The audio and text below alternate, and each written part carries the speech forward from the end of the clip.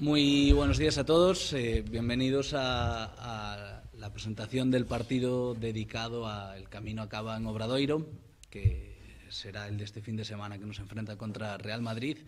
Y tenemos la gran suerte de, contar con el protagonista de, del documental de, de, esta cuarta edición, Aksa Petrovic, quien eh, pues nos contará un poco sus vivencias y el reencuentro que, que, este fin de semana viviremos en la previa del partido con, con Juan Antonio Corbalán, en el que haremos eh, un homenaje a, a, esta cuarta edición y a, y a, sus protagonistas. Sin más, os dejo con él para, para que os comente las impresiones de, de cara a, a, este partido. Bueno, estoy eh, muy contento por uh, estar otra vez aquí después uh, de cuatro meses, cuando hemos uh, donde estuvo, uh, tenía suerte para conocer a esta gente mar maravillosa de, de y pienso que para mí eso es uh, una cosa que en el puesto número uno, conocer la, este, eh, esta gente es algo que, que me voy a recordar de tanto tiempo. Y también hablo de, por parte de, de, mi hijo que estaba junto conmigo grabando este documental. Y una vez más uh, quiero agradecer a todos ellos, a partir de, de, jefe, a partir de staff técnico, de las chicas que estaban aquí uh, en todo momento, porque ayer uh, hemos visto el documental y pienso que hay hay un buen documental donde, donde hemos tocado todas las, todas las cosas, cosas de pasado, y estoy contento porque Juan Antonio Corbalán va a... No, no, no, te, te miró porque no sé, es secreto o no. Sí, sí, no, no, no, va a estar... No, no, va a estar en el partido. Para mí es una cosa muy, muy importante porque también hay, uh, tenía suerte porque también cuando no sé que Moncho va a tener tanta suerte jugar contra Real Madrid uh, este partido de domingo porque es un uh, partido complicado, pero yo tengo suerte ver Obradoiro Real Madrid porque también Real Madrid es una parte de, de historia de, de, mi hermano y por eso es un partido, partido ideal para, para ver y para hablar de este camino de Santiago. Uh, reencontro con pasado con Juan Antonio Corbalán, después uh, era la, uh, mis jugadores de Caja San Fernando en aquella época 95-97 cuando hemos hecho mayor éxitos de, de, de, de, toda la historia del club jugando, primer año jugando final contra Barcelona y otro año pasando primera fase con Liga de Campeones también uh, Clinic con, uh, con, Moncho y con sus, uh, su staff técnico era algo que, que, me ha ayudado mucho. Y ya lo he dicho ayer que algunas cosas porque tengo en mi selección de Brasil tengo jugadores que quiero usar como Moncho usa sus tiradores que normalmente tiene a últimos años en, uh, en, su equipo. Por eso me ha ayudado mucho porque algunas jugadas ya es uh, fruto de este tercer día de Camino de Santiago y nos ayudó. Y de verdad, es uh, últimos días de, de, este camino siempre te quedas con algo que, que ningún, ninguno de, por parte de mi familia no puede olvidar. No, no solo de familia, es recuerdo, recuerdo sobre mi hermano y por eso estoy contento ver uh, ayer un uh, documental muy bien hecho donde se habla de camino, de baloncesto y como yo era protagonista también de, de, de, por parte de, mi vida, de mi vida profesional. Eso.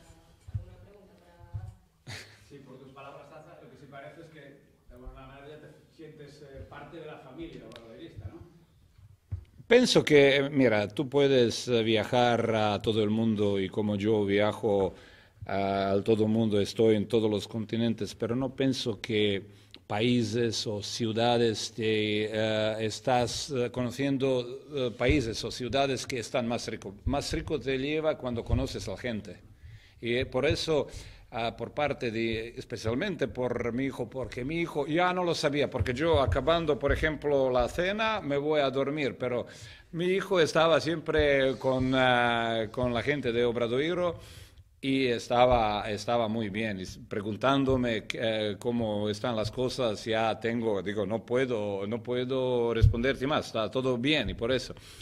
Y eh, por esa cosa es eh, conocer esta, esta gente eh, maravillosa, para mí, mm, para mí es algo que no puedo describir o algo, es algo importante que me voy a llevar dentro por mucho tiempo.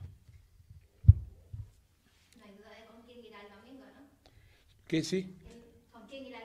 No, no, no, con, con, eh, siempre con uh, Obradoiro, porque ya estoy preparado a cantar uh, la himna de Obradoiro antes del partido y por eso no, no, eso es que ya tengo, ahora mismo tengo solo dos preferencias de, de, de en España, uno, do, uh, uno, juega en Liga, Liga, Liga Leb, es Betis, o como se llama ahora, es de, siempre de Sevilla, y otro ahora es uh, Obradoiro. Y por eso, y eso no es la mi última, última visita aquí, porque hay que también decir, se puede decir, porque un jugador eh, de Brasil también fichó un uh, contrato muy largo aquí, porque también en momentos uh, cuando era de, de la Uh, por parte del jugador uh, hacer esta decisión, viajar tan joven en Europa, yo digo, bueno, vete, porque aquí se trabaja muy bien con los jugadores jóvenes, ya tenemos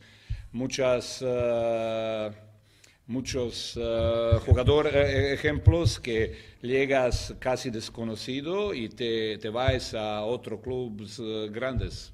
Mira Pustovoy, mira este tirador blanco que ahora está jugando, ¿cómo se llama? Matt Thomas. Matt Thomas que está jugando. Y por eso pienso que eh, este, para Michael Uchendu, que es una buena opción, porque pienso que en Obradoiro puede tener todo lo que necesita. Fuerza física tiene, pero a, ahora hay que trabajar y por eso estoy contento y por eso me voy a llegar en próximos años eh, muchas veces por aquí.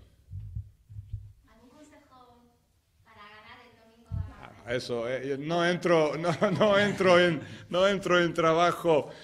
No, no, pero hay, hay muchas cosas también. Hay que también uh, mirar cómo va a salir Real hoy, porque ninguno de nosotros y de ellos pueden, porque puede salir un partido redondo, pero también cuando tú estás jugando miércoles, viernes, domingo, puede salir un mal partido, un mal día en oficio, que Obradoiro puede, puede, pero para mí una cosa es muy, muy importante, no Uh, en, uh, no, no, puedes dejar que Real se marche tranquilo al principio. Hay que estar conectado con el marcador, poniéndolos nerviosos y cuando llega tiempo. Claro. Competitivos hasta el último cuarto. Sí, sí, eso es. Lo vimos, ¿eh?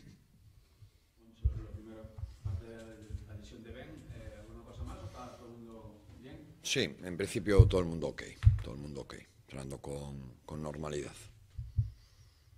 Semana larga, viene bien para preparar el partido como, como ocurrió contra Valencia, ¿no? Tenemos una semana de, de fin de semana hasta el domingo. Hmm. Pensando también o mirando lo que hace el Madrid esta semana o centrando exclusivamente en preparar vosotros y ya vendrá el Madrid después del partido ver cómo venga. Bueno, el, el, Madrid es muy reconocible al margen de lo que haga no esta semana. ¿no? Es un equipo que lleva siendo muy reconocible en las últimas temporadas y su estilo sigue siendo el mismo, es decir, Carroll, Rudy, Jules, Tavares, Ayllón and Company, ¿no? Pues siguen siendo los mismos, pero lógicamente vemos, vemos los partidos que, que juega como hacemos con, con todos los rivales, pero durante la semana juguemos con el Madrid o con quien sea, lógicamente también la dedicamos a muchísimo más tiempo a, a mejorar y prepararnos nosotros, que sobre todo en las primeras jornadas de liga y tal como ha sido la pretemporada para nosotros y tal como han sido los últimos acontecimientos con bajas entradas y demás, bueno, pues como os decía, no hace tanto, todavía nos queda muchísimo margen de mejora y seguimos creciendo como colectivo, ¿no? No estamos al 200%. ¿Compartes la opinión o la sensación que viene dejando, desde la Supercopa, este Madrid de que vale para irse un poco y luego ya ganar, incluso rotando jugadores, dando tener una plantilla larga, lógicamente. Claro. Un poco en ese modo, entre comillas, ¿eh? a. Es que son pues, una de las mejores plantillas de Europa. Yo no sé si se puede decir la mejor, si el Chesca es mejor, si el Madrid es mejor, si Fenerbahce o sí, pero bueno, que es la superélite del baloncesto europeo, sin ningún tipo de duda. Son el actual campeón de la Liga, el actual campeón de la Copa de Europa. Podría citarte exactamente la rueda de prensa previa a la Supercopa. Son un grandísimo, un grandísimo equipo. Las rotaciones, pues al final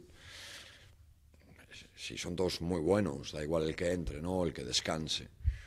Siempre hablamos de los mismos. El otro día en Milán hace un gran partido y Jules juega 10 minutos y no mete canasta. Un jugadorazo como es Jules, ¿no? un superjugador. Tienen armas en todos los puestos, muchas y buenas. Entonces, bueno, yo creo que eso no cambia, no cambia demasiado. ¿no? Un equipo con tantas obligaciones como es el Madrid y tanta competición durante la semana tiene una plantilla muy larga y de calidad acorde a, a lo que se espera del Real Madrid, que es ganar todos los títulos que, dispu que disputa. Más, eh, llegar al final del partido como el otro día contra Valencia, ¿no? Claro, es, es el objetivo. El objetivo es llegar con opciones de victoria al partido. como decías ahora, es no, no, no descolgarte muy pronto del partido, es llegar vivos al inicio del último cuarto, que al final suele estar ahí la, la clave, y si llegas vivo, tener la, la ocasión de aprovecharla. Es la única forma de batir estos super equipos.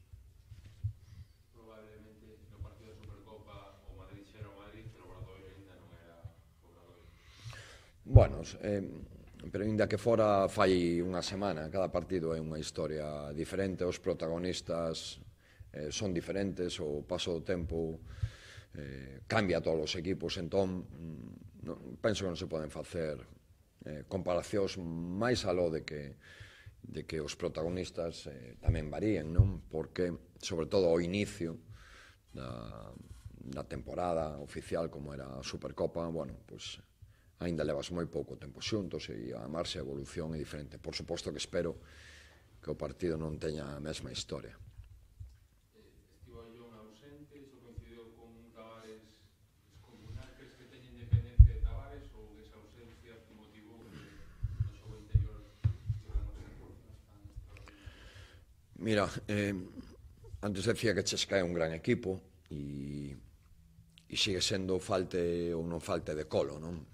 de colo, ou como se diga. Pero cando ele está na pista fai 25, 27, 30 puntos, pero van a seguir sendo vos. Non penso que a calidad de Tavares non, non ven pola ausencia de, de Aillón, nin penso que o Madrid teña dependencia, porque é capaz de gañarche o, o big ball, como digo os americanos, con dous xogadores moi grandes, ou small ball, porque ao final para ele xogar con dous catros é xogar con catro de dous dez e outro de dous oito, non?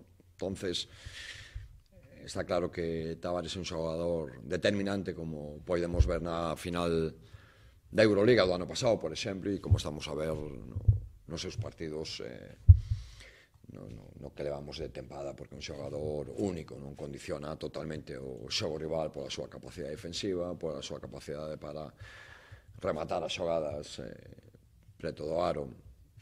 Pero bueno, con e sin Tavares son excepcionales.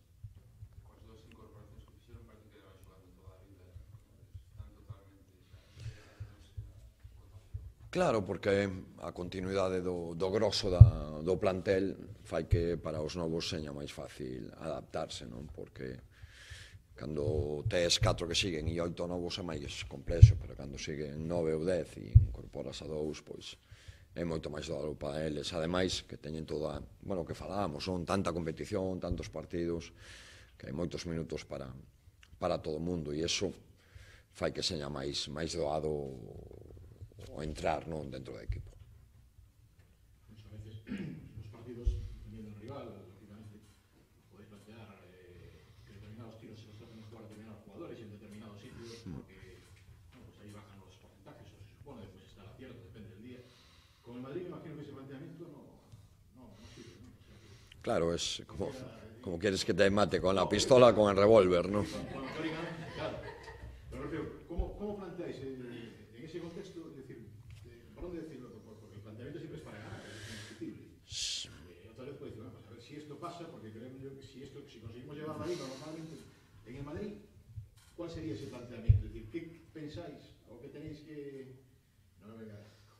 No. De matarlos a todos. No, claro. Porque eso no, no vale.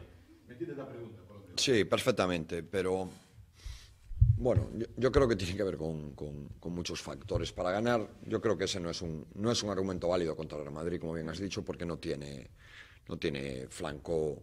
Yo no creo que está flanco débil en ningún, en ningún equipo, pero menos bueno. En este caso son eh, buenérrimos, buenísimos y, y bueno, to- toda la serie de calificativos que se nos pueda ocurrir. Yo creo que tiene que ver más con que nosotros estemos muy bien, que va a hacer falta para, para poder estar en ese partido y eh, bueno, pues un poco también lo que decía Asa, ¿no? que los tres partidos se pasan un poco de factura, que no estés tan acertado como en otras ocasiones, pero son jugadores, como vemos cada día en, las, en los vídeos, resúmenes, highlights y demás, capaces de anotar incluso situaciones casi inverosímiles, ¿no? Entonces, en ese aspecto, yo creo que tiene que ver más con que nosotros eh, rocemos eh, la, la, perfección baloncestística, cuando hablamos de eso es número de pérdidas, no, no regalar nada, ¿no? a un equipo que si le regalas te, te, te mata seguro y conseguir que ellos no, no, no estén tan cómodos como están habitualmente.